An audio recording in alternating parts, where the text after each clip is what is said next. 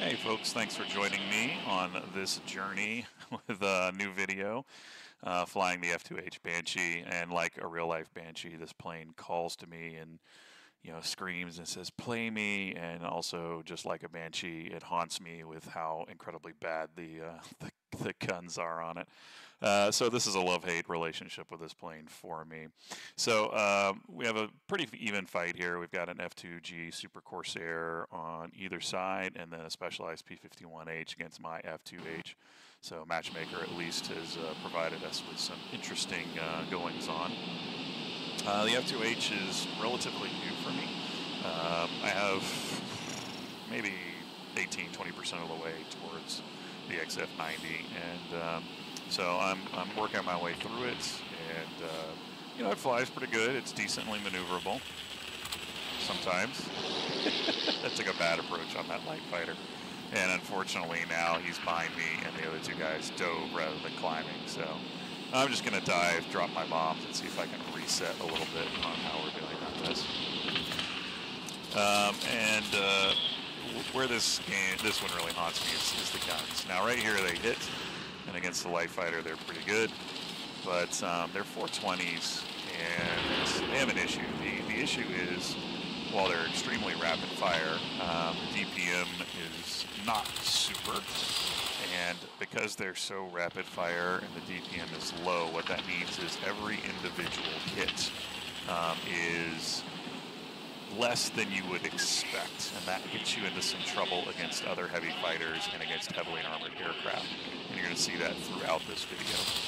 Uh, so outside of that, you got some nice bombs, four 250 pounders, which you, know, you pretty much have to potato on one target, uh, unless you've got a really good pilot, there's some extra things going on. But against other heavies, you have this nice, uh, you know, slightly better maneuverability on them, and uh, that's helpful for putting them out of their if they're bots who don't necessarily know what they're doing. So uh, this map, by the way, two of these command centers and then three garrisons, so nothing super big to write home about. I'm going to let Powell clean up the last of that there. Our bots have taken the mid, and uh, I'm going to clean up this heavy coming in. You can see there, I'm, I'm just shooting and nothing's happening, right? So um, part of that is probably the usual server jank, which I noticed a good bit uh, when I was on last night. Part of it, though, is because each of those individual hits is so so low. I don't know if you have seen my video on armor and resistance. What that means is uh, each individual cannon shot has less of a chance of doing you know, significant damage on the target and uh, that can really get you in trouble. And, that's not um, not anything new. The American Heavy line was designed meta-wise to be a line that was um, excellent in speed and, and altitude, so sort of excellent in the energy characteristics, uh, decent in the maneuverability characteristics, at least in terms of what we're talking about with heavies, and then lights and guns. And so that's kind of how the line, both the heavy and the medium line, or a light fighter, I guess I should say, line played uh, from very early in Alpha uh, up until the 50 caliber buff a while back, and uh, which was excellent. I almost wish this uh, thing had 50 calibers rather than the 20 millimeters. One of the reasons I enjoy the P82 and the F82 so much. But you can see there, I, I can't, you know, I can't one pass things uh, with this, which you can do in some other tier 9 heavies. Um, and uh, you just feel like some of those shots just aren't doing anything. So I'm going to push on, leave that to the bots to finish off, and I'm going to try and crush this uh, bot bomber here. Just to get some uh, capture points, get my chevrons up, and then I'm going to go looking for the other zones. Really, this was just a matter of convenience, and one of the benefits of heavies, you can see me shooting again there, nothing, right? Like just barely registering anything. Um, one of the nice things about heavies, especially at high tiers, is the speed on maps like this just allows you to travel from zone to zone so quickly. Um, you don't necessarily really ever have to worry about being out of it um, zone.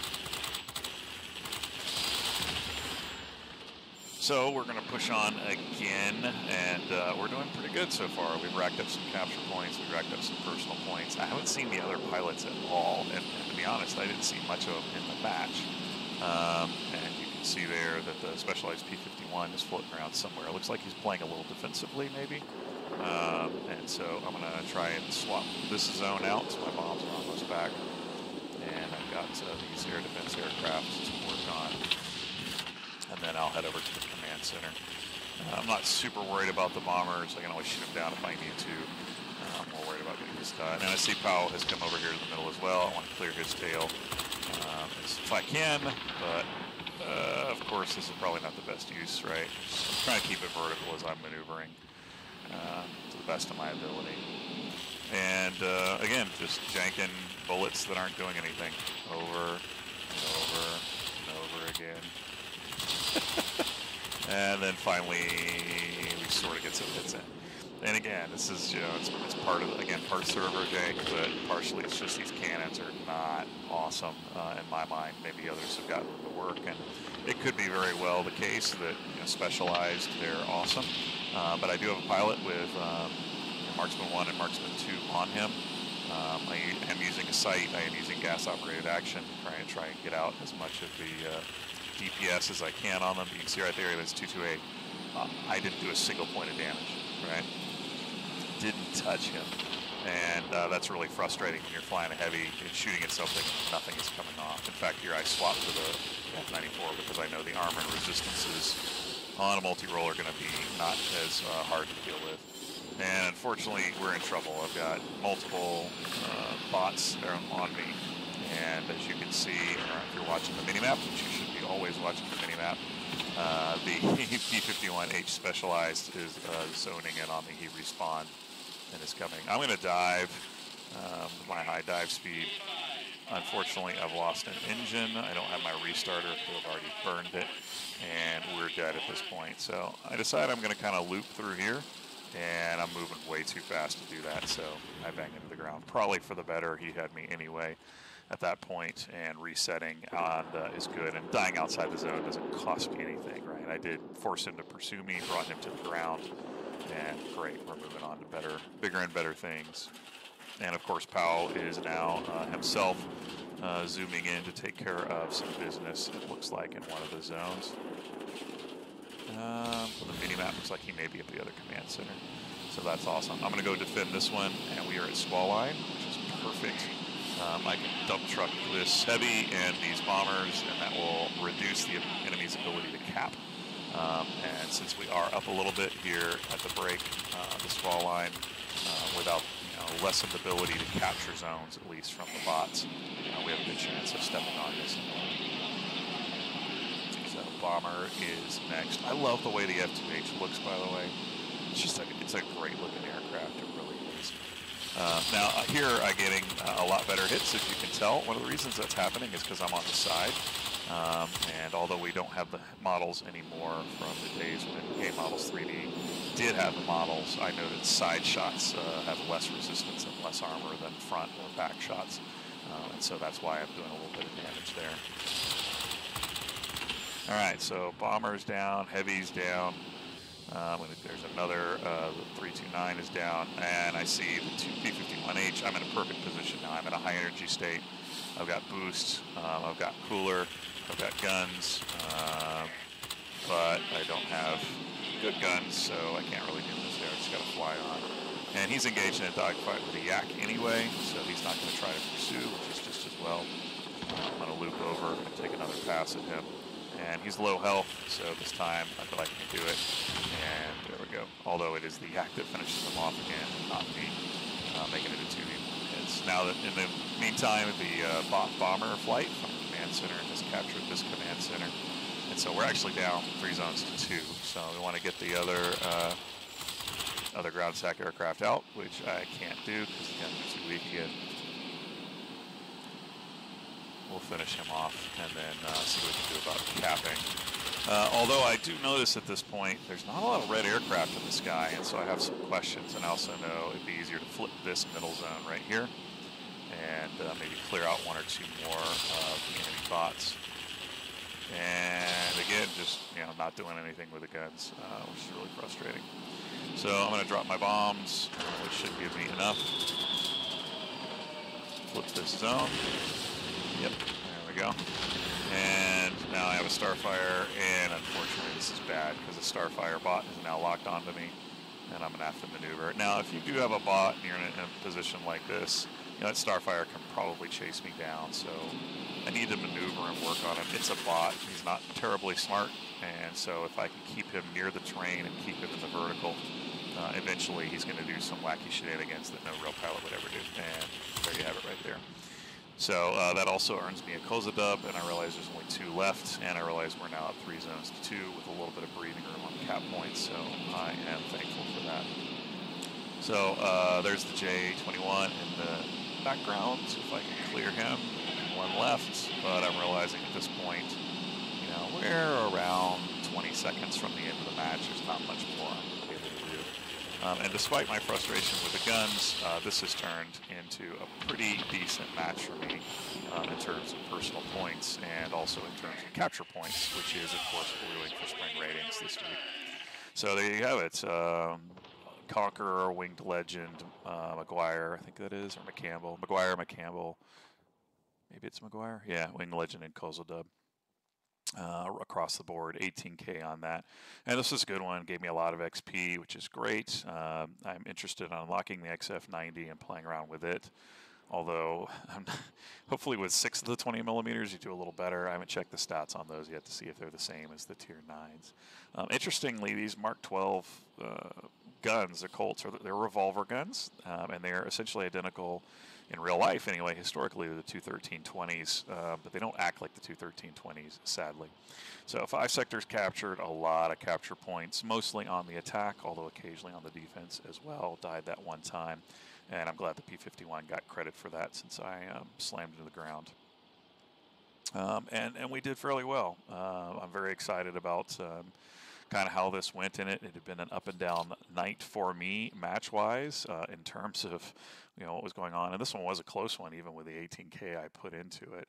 Um, but the an up and down with the F2H, um, I just struggled with it. I ended up uh, redoing the pilot a little bit, and I want to show you kind of gear setup, you know, what I'm using to try to make it work. Um, in terms of this McCampbell, that's it, McCampbell, and uh, whatever the other one was. And five tokens, which is nothing to sneeze at. Always excited about tokens, because uh, tokens are always very useful. So, and you can see Powell uh, was capping some zones with me. It looks like uh, their F2G had a little harder time putting that together. So I've got the uh, parade camouflage on it, uh, which is the camouflage that comes, uh, you know, came to us alpha and beta testers along with one of the nose stripings that matches just for the extra XP since I'm grinding this. Um, I put the lightweight power plant on for a little bit of extra wiggle, uh, trying to keep these guns on target a little better. And, you know, speed wise, it's just fine. You know, the reality is against other heavies, I'm going to try to turn fight them uh, because of my better maneuverability. I'm not going to try to outrun them. Uh, against light fighters, hopefully I'm in a good energy state and can just pass on like the P51H. Um, the extra, you know, little bit of cruise speed or boost speed there probably is not going to make a difference. Uh, and then also, of course, gas operated action just to put as much DPS into these as I can, which is not great. And you can see 14 second turn time. That's less than the German heavies uh, and the Brit heavies, so that makes it a little easier to uh, get around on things.